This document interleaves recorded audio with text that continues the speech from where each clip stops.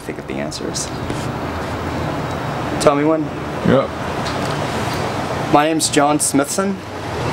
I uh, I want to be a Beatle when I grow up, and I've been working really hard towards this, and I hope I never lose focus of how hard I've worked to get to where I am. Explain the Beatle thing.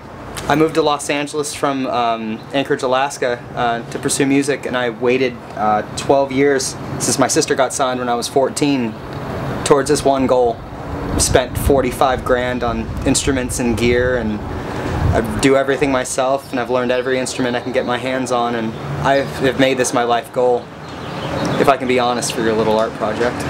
Yeah, well, I mean, so, oh, so, so what about what about being a musician? What about doing it is the thing that makes it your purpose?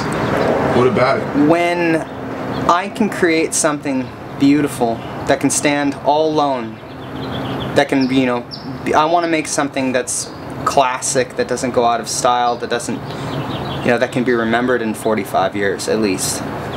I've worked really hard towards this for a really long time. And you hear people casually say this, but I know I put in my hours. I put in my months and years and every but every dollar I have to get to Los Angeles to do this now. You're catching me at a funny time. Yeah, well, so wait, why is it so funny? It's just, I don't know. I didn't expect this uh, somebody to be asking me questions about my purpose in life right now.